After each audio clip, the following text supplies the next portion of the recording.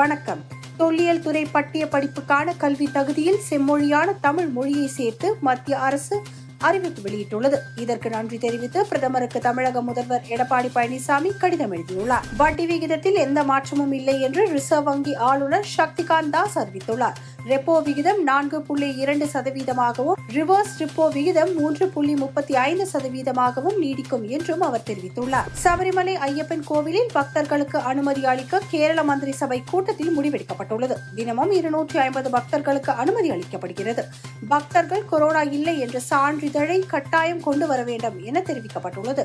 அந்தமானை ஒட்டியுள்ள வங்கக்கடல் பகுதியில் புதிய காற்றழுத்த தாழ்வு பகுதி உருவாகி உள்ளதாக இந்திய வானிலை மையம் தெரிவித்துள்ளது. இதன் காரணமாக காரணமாக தமிழகம் ஆந்திரா ஒடிசா மாநிலங்களில் கனமழை பெய்ய வாய்ப்புள்ளதாகவும் கூறியுள்ளது. மறைந்த மத்திய மந்திரி ராம்விலாஸ் பஸ்வான் உடலுக்கு ஜனாதிபதி ராம்நாத் கோவிந்த் பிரதமர் மோடி பாரதிய ஜனதா கட்சி தலைவர் ஜே பி நட்டா உள்ளிட்ட தலைவர்கள் அஞ்சலி செலுத்தினர்.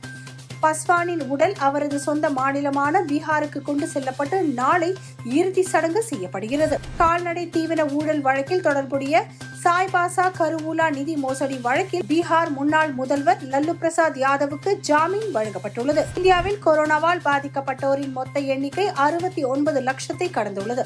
கடந்த இருபத்தி நான்கு மணி நேரத்தில் எழுபதாயிரத்தி நானூற்றி தொன்னூற்றி ஆறு பேருக்கு கொரோனா தொற்று உறுதி செய்யப்பட்டுள்ளது.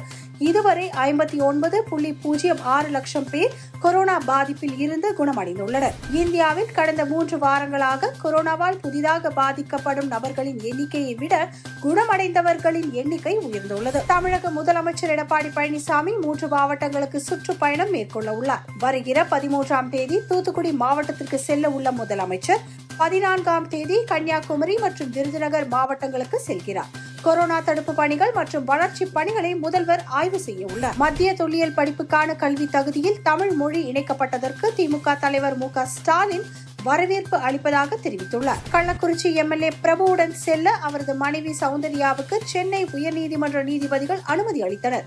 அத்துடன் சௌந்தர்யாவின் தந்தை தொடர்ந்த ஆட்கொணர்வு வழக்கையும் முடித்து வைத்தனர். மதுரை மாவட்டம் உசிலம்பட்டி மதுரை ரோட்டில் உள்ள சூப்பர் மார்க்கெட்டில் பொருட்களை திருடிய திருடன் துண்டு சீட்டு எழுதி வைத்துவிட்டு சென்றுள்ளார். அதில் தனது குடும்பம் ஏழ்மையில் வாழ்வதால் பொருட்களை திருடி செல்வதாக கூறி மன்னிப்பு கேட்டுள்ளார்.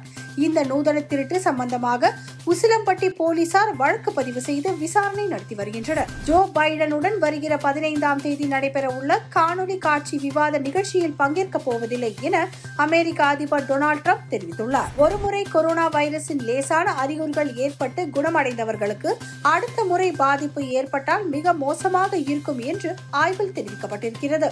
ராம்குமார் இயக்கத்தில் தனுஷ் அடிக்க உள்ள புதிய படம் நான்கு மொழிகளில் உருவாக உள்ளதாக தகவல் வெளியாகியுள்ளது. நிலம் வாங்கி தருவதாக கூறி நடிகர் சூரியிடம் இரண்டு புள்ளி எழுபது கோடி ரூபாய் மோசடி செய்ததாக தயாரிப்பாளர் உள்பட இரண்டு பேர் மீது வழக்கு பதிவு செய்யப்பட்டுள்ளது. மேலும் செய்திகளுக்கு மாலை மலர் இணையதளத்தில் இணைந்திருங்கள். நன்றி வணக்கம்.